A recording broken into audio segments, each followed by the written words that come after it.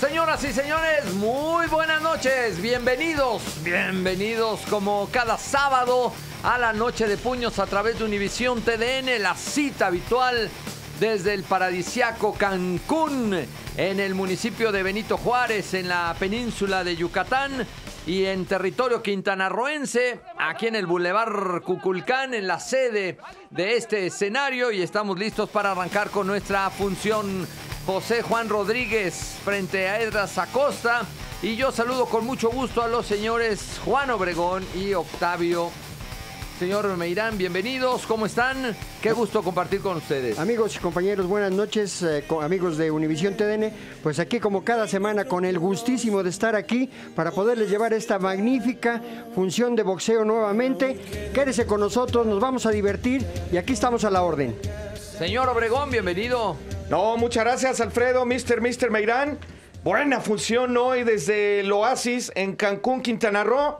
Una pelea en la estelar que de verdad, de pronóstico reservado entre Villasana Jr., usted recordará al padre de Marcos Villasana, aquel gran campeón mundial Pluma, al que le costó mucho trabajo, no fue a la primera cuando obtuvo dicho campeonato.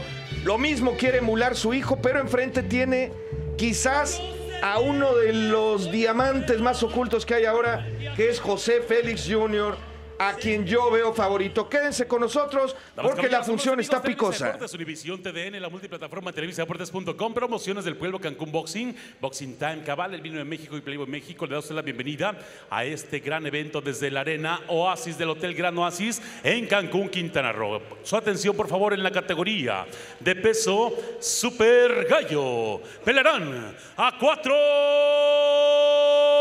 rounds. En la esquina roja, con un récord de cuatro peleas ganadas, cinco perdidas, un empate y tres victorias por la vía del knockout, con un peso de 56 kilogramos de Cancún, Quintana Roo, Estras, Zurdo Acosta.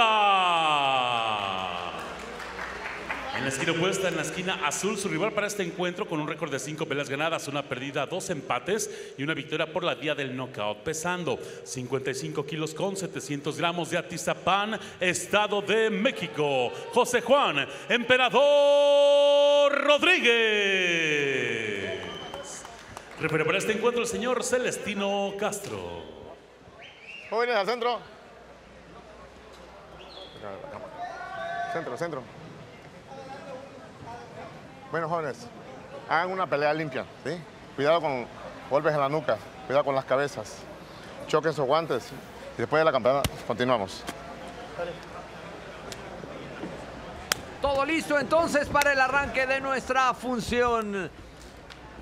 Esperamos, por supuesto, que como cada sábado, estos pleitos preliminares también nos entreguen Pues. buenas notas y Pues. aquí arrancamos, señor Pues. Juan Obregón. Venga, que haya Pues. muchos golpes. Muchas gracias. Arrancando la noche de Vámonos. puños a través de Univisión TDN y también nos puede seguir en todo el mundo con excepción de la Unión Americana en televisadeportes.com. La pelea en la división de los Super Gallos, 55 kilos, 338 gramos es el tope, o bien 122 libras. Diestro contra siniestro. Esdras, el hombre con la pantaloneta satinada ahí en azul, presentando guardia de zurdo, el local aquí de Cancún, a la derecha de su pantalla y con una pantaloneta en un naranja y plata, nada menos que Juan José, el emperador Rodríguez. Así de entrada, me gusta más la pinta del emperador, Mr. Mr. Meirán. Vamos a ver qué dicen arriba del ring. Pues está más agresivo, está tirando golpes de poder desde un principio, nada de estudio, son cuatro rounds y pues van a tirar todo lo que tienen en estos cuatro rounds para poderse colocar. Arranca además en el terreno rentado con una mejor foja. El emperador que trae, además de una operación fuerte ahí en el lomo derecho, también la pantaloneta muy alta, tiene que ser juicioso Celestino Castro para saber cuál es el Ecuador, hasta dónde está permitido golpear. Él, decíamos, arranca más prometedoramente con foja de cinco victorias, un descalabro y dos empates. De esas cinco, solo una la ha concluido antes del límite, mientras que su rival ya presentando récord de fajador Me refiero a Esdras, el zurdo Acosta, con cuatro triunfos, cinco descalabros y un empate. Tres de sus triunfos por la vía del knockout. Trata de puntear con el jab. Luego buscaba ahí con un volado muy abierto a la zona de las costillas. El emperador Rodríguez que trata de buscar Mr. Mister, puntear, aprovechar que es bastante más alto y después de picar huir con buen rebote hacia atrás. Sí tiene una- un buen estilo, se ha estado manejando bien, aunque el estilo de Esdras, el zurdo Acosta, no es malo, está bien plantado en el, en el cuadrilátero y está tirando bien sus golpes, no tan frecuentemente como su oponente, pero va bien. Es más esporádico Esdras, pero soltó, como decía Octavio Meirán, buenas combinaciones de gancho, pero ahora el que suelta la buena secuencia es el emperador. ¿De qué le llamó la atención Octavio Meirán? Un pisotón. Un pisotón, pisotón. Se, se ha pisado ya en tres ocasiones. Típico cuando son guardias encontradas y el- al igual que los choques de rodillas y ni se diga los cabezazos. Agoniza el primer asalto. Va a estar buena la función. También tenemos pelea en femenil. Bajó más de 20 kilogramos, nos decía Iñaki Arzate. La Tigre Jiménez ya escasa de rivales en los pesos completos. Ahora peleará en algo intermedio entre supermedio y semicompleto. Vamos a ver cómo se presenta en dicha división. En una pelea pactada en 80 kilogramos. Hoy falla con la derecha al final. El emperador sonó la campana de este interesante primer round. Bueno, pues aquí nos empiezan a entregar eh, buenas notas, sobre todo el oriundo de Atizapán de Zaragoza en el Estado de México, tierra del expresidente don eh, Adolfo López Mateos, un hombre que pues eh, tiene la intención, por supuesto, de mantener el récord y el y gancho de fuerte. Ahora, si le tiraste el gancho abajo, de izquierda abajo, súbela conmigo así. Sí le entró, pero abajo, arriba y derecha, recta. Tienes que hacer combinaciones de 3, 4 golpes como las hiciste al último. No dejes tampoco que, que te agarren las cuerdas. No te quedes en las cuerdas. Agárrale. Ahí escuchábamos justamente en la esquina del emperador algunas eh, sugerencias que no No, se queden fuera, las cuerdas y fuera. han pasado ya los no. 60 segundos para Fuera, fuera. tener actividad en el segundo capítulo. Ya decía el señor. Meirán, no se guardó nada, tuvo la iniciativa y la tarjeta del señor Meirán después del primer round. Pelea limpia. 10 puntos para el emperador Rodríguez, 9 puntos para el zurdo Acosta. Como veníamos comentando, mucho más, más- mucho más activo, Sí. tirando mejor las combinaciones, como en este momento que se despachó con izquierdas y derechas. Sí, señor, el Manchitas al que vemos ahí puntear con la mano izquierda y tratando de mantener al zurdo de Cancún justamente a la distancia. Primer pleito de esta noche de puños para todos ustedes, amigos que nos acompañan en el territorio nacional. El boxeo, como ya es una muy buena costumbre a través de la señal de Univisión TDN, entregándonos estos pleitos preliminares. Otra vez, ahí viene con Toño Rodríguez entregando la combinación, a ver si no se nos vacía. En cuanto al esfuerzo físico, ya lo tiene acorralado, pero no logra conectar justamente en donde él quisiera. Tanto descompuesto el emperador Octavio, pero con esta intención, con esta sana eh, propuesta de ir hacia adelante. Ha tirado, ha marcado la mayoría de sus golpes, aunque eh, depositó dos o tres de, de poder, lo apabulló realmente al- a, su, a su- a su contrincante, pero pues no está haciendo una buena pelea. Ahí soltando la mano derecha, más que en forma de ya parecía un golpe descendente que le baja de la frente hacia el dorso de la nariz al eh, zurdo Acosta. Y lo vuelve a acorralar, lo persigue, trata de cerrarle los caminos y bueno, muy escasamente entregando golpes el de la tierra.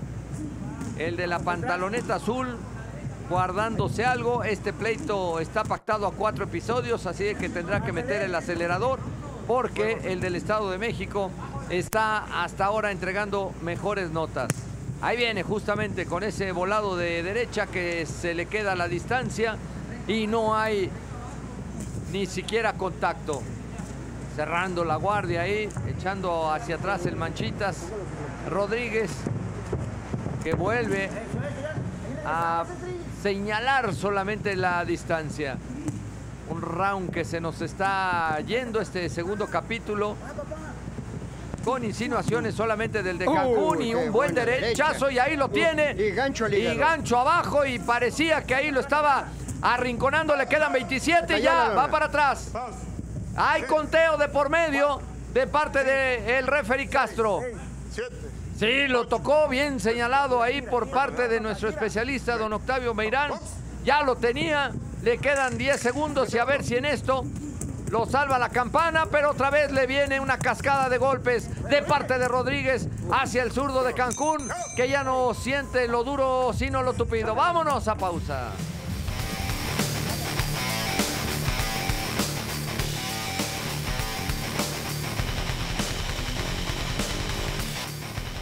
De vuelta en la noche de puños. Con el inicio del tercer round. Antes la tarjeta del Mr. Mr. Meirán del segundo asalto. 10 puntos para el emperador Rodríguez, 7 puntos para el zurdo Acosta, 2 por la caída y otro por la paliza. 10 a 7. El hombre de naranja ya tomó la batuta. Sacó el libro y le está dando una lección a Esdras Acosta que va a tener que apelar ahí a todos los nombres bíblicos a ver si puede revertir esto. Porque es un combate a tan solo Oh, cuatro vueltas. upper. Y ya se llevó un 17 y además le acaban de meter un uppercut tremendo. Además lo agarró en movimiento, Mr. Mister. Como que se estaba girando y ahí lo pillaron con la diestra. Es que además eh, Esdras no tiene un plan de pelea, no tiene una buena distancia, o está demasiado cerca o se queda muy lejos. Ahí intentaba Esdras reaccionar con una izquierda. Ya lo decía desde el primer asalto Octavio Meirán. Tiene lo suyo, pero dispara con mucha esporacidad, muy espaciadas sus ofensivas, mientras que quien ha hecho la labor, el trabajo hormiga, ha sido Juan José Rodríguez, el emperador Sumote, que tiene ahí un tajo como de mordida de tiburón en el, en el costado derecho, o a qué se te asemeja. Es un tatuaje, Ah, es un tatuaje. señor. Oh, fíjate, yo pensé que era Yo totalmente pensé que era una cicatriz. Ahí, del hombre de Atizapán de Zaragoza, el de la Guardia Oh, Natural, oh, que buena izquierda, engancho. izquierda. Le sacudió ahí todo el cachete a Esdras, que como dice el Mr. Mister, no tiene un plan específico de combate, no sabe qué tipo de pelea salió a hacer y además, pues es más corto. Octavio Meirán debería de buscar ahí más, más cerca a el emperador para buscar la candela, tratar de sacar alguna renta de sus ofensivas. Pero si cuando ha estado en las cuerdas, en las esquinas, no ha podido ripostarle a, a- a su contrincante, pues menos en, la- en el centro del ring por la falta del plan de pelea que no la tiene bien, bien firme en su meta. Parecía más parejo el combate al iniciar el mismo.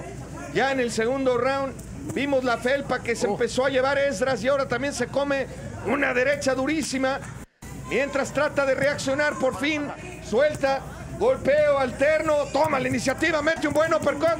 ¿Qué está haciendo ahí en zona de cuerdas? Mister Mister, el hombre de la distancia y el alcance más largo. Yo pienso que le puede estar faltando ya un poquito de aire, porque es realmente el que ha hecho el trabajo en todos los rounds.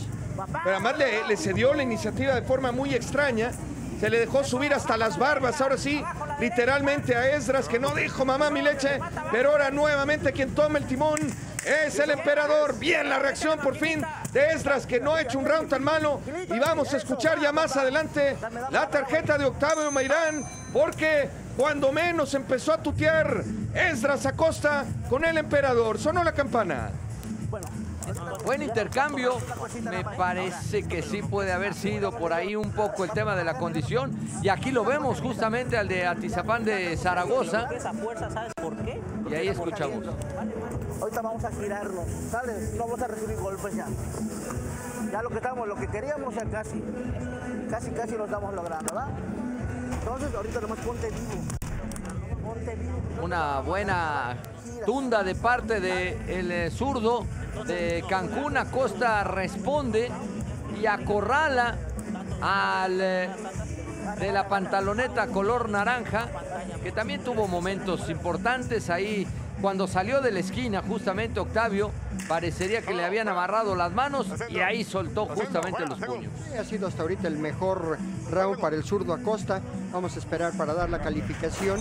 Cuando termine este resumen de este round. Suena la campana, nos vamos al cuarto y al último. La calificación del señor Meirán dice 10 puntos para el emperador Rodríguez, 9 puntos para el zurdo Acosta. Buen round para el zurdo Acosta, pero fue muy esporádico aún así de, y terminó cerrando fuerte. Eh, el emperador Rodríguez gana el round el emperador Rodríguez. Sí, de acuerdo, creo que fue medio round y medio round. Sí, ¿eh? Pero Ahí. los golpes de poder fueron más fuertes Sí, sí, por sí. parte del emperador. No sé si como parte de la estrategia se echó para atrás, se quedó en una esquina Rodríguez. Y después salió otra vez a tundirle al zurdo de Cancún, que ahora pone la mano izquierda justamente ahí en el mentón, pero sus golpes no significan nada más. Y ya tiene una caída en el segundo capítulo. Vamos a esperar entonces el recuento de los daños. Ahí aguantando, baja los puños y otra vez Rodríguez trata de encontrar la zona blanda. No alcanzo a leer lo que dice, pero yo tampoco. algo así como de este, seguramente algún recuerdo de Acapulco de aquellas noches María Bonita. Fíjate que una de las cosas buenas que ha hecho Rodríguez son las fintas que hace. Sí, Tira sí, muy sí. bien sus golpes pintando. Y eso ya lo, lo Ya vemos no se poco ve. en el box Ya profesional. no se ve, sí, de repente eh, mueve los brazos, sacude eh, la, la- la cabeza tratando de engañar y de pintar como, bonito, como sí, lo hace dice, bien. Como bien dice Octavio. Ahí en la esquina de Rodríguez ya le dicen entra. Sí se cansó, ¿eh? Porque Sí, está claro, claro. aire. Es que hizo todo el Echó gasto en los primeros segundos y parte del tercer round. Bueno, a ver si en esta nos regala alguna buena combinación. Ya lo tocó arriba, ya lo tocó arriba y aguanta. Es de buena quijada el zurdo de Cancún que ahí vuelve a señalar justamente la mano izquierda hacia el rostro de Rodríguez, pero no es suficiente. Y lo tiene contra las cuerdas. Aquí se puede acabar la pelea. Si mete el acelerador, justamente el emperador ahí puede terminar y le dicen, venga, que eche el resto. Parecería que le está faltando el último toquecito, ¿sí? De repente algunos golpes se quedan a la mitad y ya tuvo que echar hacia atrás porque no llegó el golpe que esperaban justamente de la esquina. Y la oportunidad que tuvo el zurdo Acosta de countearlo, no sabe hacerlo. Entra eh, su, empe- el emperador Acosta y no, y no, se, no se mantiene tirando golpes que la- lo podría recibir y countearlo para poderlo derribar. Sí, ya de- con lo cansado que está. Sí, de acuerdo, de acuerdo. Y en la distancia además que podía ser la, la, la llave para este zurdo de Cancún. El golpe muy abajo, suenan las tablillas, se nos termina la historia y el pleito seguramente será para el del Estado de México. Ahí sonó justamente la campana y vendrá el recuento de los daños después de cuatro ruedas en este sensacional escenario. Si algo le faltaba a Cancún, que tiene belleza natural, que tiene una estupenda comida, que aquí muy cerca en el Boulevard Cuculcán está el Gran Museo Maya, pues era una arena como la que ahora es justamente la sede, esta Oasis Arena, para una estupenda velada de box. Empieza a ser importante en el mundo del boxeo de paga. Señor Meirán, venga la tarjeta. 10 puntos para el emperador Rodríguez, 9 puntos para el zurdo Acosta. Nuestra tarjeta eh, Univisión TDN queda en 40 puntos para el emperador Rodríguez, 34 puntos para el zurdo Acosta. Ningún round para Acosta hizo su lucha, pero fue superado en el primer asalto. Enseñó en algún instante las garras. Este fue el round más abierto, donde además visitó las cambas el zurdo. Ahí le siguió pegando Sí, ya. le dio dos golpes, Le dio dos golpes una vez ya en la lona. Eso no es muy leal, que digamos. Tiene que haberle llamado la atención. Ahí el referee Celestino Castro lo hizo de alguna manera.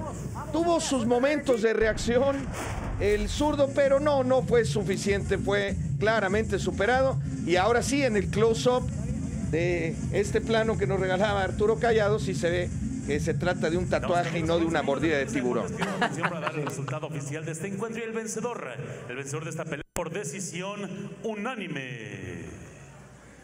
De Tlalnepantla, Estado de México, José Juan Emperador Rodríguez.